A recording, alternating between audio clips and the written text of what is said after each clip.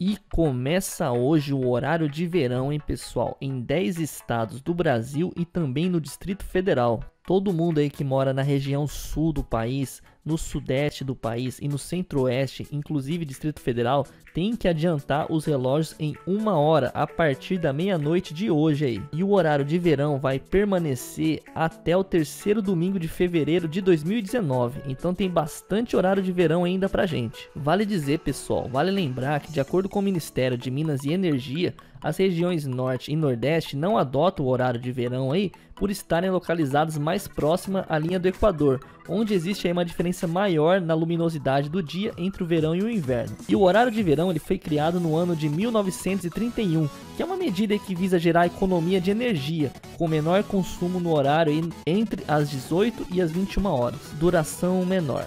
Este ano, com 104 dias, o horário de verão aí vai ter duração menor em relação ao horário de verão do ano passado, porque a alteração ocorreu 21 dias antes, no terceiro domingo do mês de outubro e dessa vez aí atrasou devido às eleições. O Tribunal Superior Eleitoral pediu para dar uma enroladinha aí por causa do segundo turno das eleições. O MEC também, né, o Ministério da Educação, também solicitou um novo adiantamento do horário de verão para quem vai fazer o ENEM aí amanhã. No entanto, o ENEM continua com horário igual e então, se você vai fazer a prova aí, presta atenção para não virar meme. Resumindo tudo isso, o horário de verão pega toda essa área laranja do mapa aí, né? Todos esses estados vai mudar o horário. Agora na parte azul aí, que é o norte e o nordeste, não vai mudar o horário, continua tudo igual. Para você que vai fazer o ENEM, tome cuidado, hein? De preferência durma uma hora mais cedo para não perder a prova. E você, o que, que acha do horário de verão? E em que estado você mora? Por favor, deixa aqui nos comentários, hein? E não deixe de se inscrever aqui no canal.